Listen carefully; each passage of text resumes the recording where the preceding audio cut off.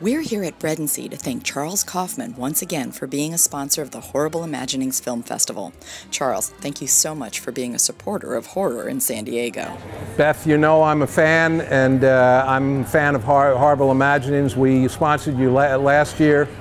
We're back in again, but I think you're uh, you're getting a little more demanding this year, and that's upsetting to me. I mean, I know you got people in Horrible Imaginings that are vegans and have all kinds of diet, diet, diet, dietary restrictions, and you really demanding that we create a gluten-free product, product of some sort.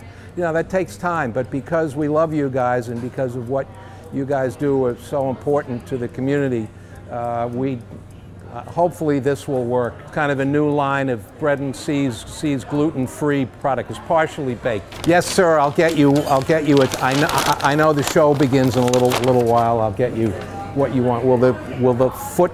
Is that is that okay? Oh, all right. Is is that to go or to eat here? Bread and Cie Bakery and Cafe, open and not killing, maiming, decapitating, or disemboweling, just baking, seven days a week.